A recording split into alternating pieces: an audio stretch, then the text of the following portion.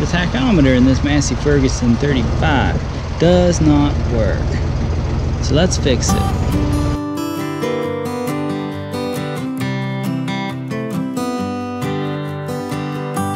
already loosened this up, but if you look right back here on the camshaft, that's where the tachometer cable connects in. First thing you want to do is just take it off and pull it out. You want to look at the end of it and see if it's still square. And this one looks pretty square to me. Now, we can actually function test this by turning it by hand. So I'm just going to sit here and, and twist this thing around in my hand like this, just as if it was turning inside the machine. Let's look and see if the tach works. Oh, it does. So that means I don't need to replace my tachometer uh, gauge and I don't need to replace my cable.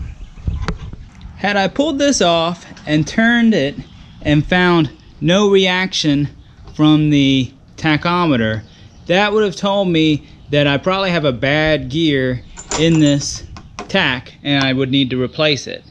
But that didn't happen. Had I pulled this out and found that the cable was rounded where it inserts into the cam, that would have told me that I need to replace the cable. But that didn't happen either. I needed to service my oil bath cleaner anyway, so I went ahead and did that in another video. But while that's off, it makes it easier to film what's going on here. So let's go ahead, we need to remove this uh, cover from the cam. It's a cam cover, there's just three little bolts holding it on. And I've already removed those. And then you pry this off and it reveals the end of your camshaft. There is a little adapter, I believe it's called your tachometer drive adapter, that is press fitted into the end of this camshaft. Uh, and what we want to do is kind of inspect that. We want to see, is it loose? Is that turning inside the cam? This one is not loose. Definitely not loose, not turning inside the cam. So that's not the problem. But if yours was loose, what you might want to do is put a little bit of Loctite on it and put it back in and see if that'll snug it up. Or you could replace it if it's just completely loose and Loctite's not going to do the job. In this case, let's go ahead and put the cable in it just as if I'm wondering if if perhaps the inside of it is rounded out a little hard to tell. Hmm. Yeah, it's hard to tell. So let's put the cable back inside that drive. There we go. I'm just going to stick it in there a little ways. Actually, that's as far as it goes. And then I'm going to try to turn this cable. And that, that's our problem. Uh, if you notice, it might be hard let me see if I can get some light on it. If you notice, this is inside there and I am turning the cable freely. So that means somehow or another the end of this tachometer drive adapter got uh, stripped out. Now that we know the little adapter on the camshaft is rounded out, there's two ways that I can think of to fix it. Option one, which is the proper way to fix it, is actually to take a nut and weld it right there to the end. Once that's been welded on, I could take a slide hammer or a puller and pull this little adapter right out and then replace it with a brand new one. Unfortunately, I don't have a welder available to me at the moment, and so I'm not going to take that route. Instead, what I'm going to do is I just I went out and I picked up some JB Weld and I am going to weld or not weld I'm going to epoxy in the old cable into the old adapter.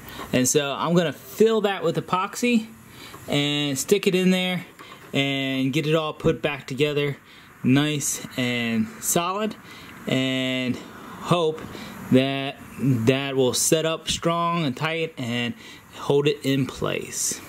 Now before even opening up the epoxy, you want to get everything ready uh, to do this because that stuff sets up within like four minutes or something like that. So you don't have a whole lot of time. Now what that means is I went ahead and checked in there and I actually ended up replacing this oil uh, gasket that was in there and then I went ahead and I've got my new gasket here on the housing and I've got it all set up and then I've got my uh, three screws uh, sitting to the side ready to, to work. When you go to put this back together you notice that there's sort of a uh, indention in one side of this. That goes down. That uh, is an oil weep hole that will allow the oil to, to drain down and then back into that little hole right there. This just takes equal parts of each. I always just do sort of a straight line. That way I can kind of see if I'm gonna have equal parts. Looks like good enough there. We'll do the same thing to this one.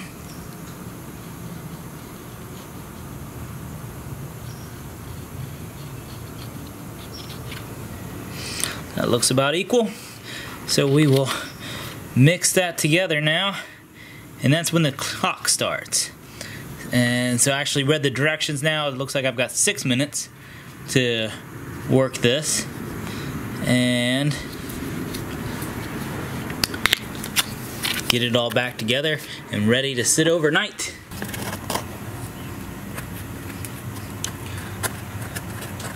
And what I'm doing is I'm mixing this to sort of a uniform color.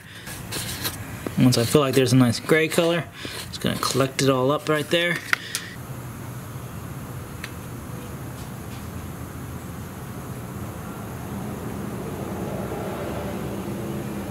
Trying to get this thing filled up real nice. Okay, I'm feeling pretty satisfied. That is nice and full. Gotta make sure there's no excess hanging on there that I don't want. Now let's start assembling this. So I put that little weep hole down.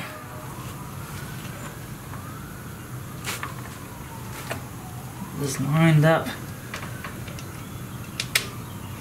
Now I'm just gonna take the tach cable, insert it in where it needs to go and get it nice and deep into that epoxy.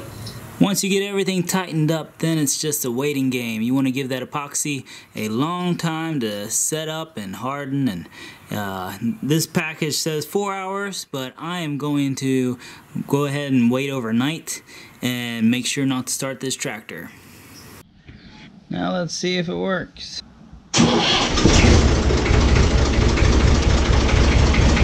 There we go, we got us a tachyometer again.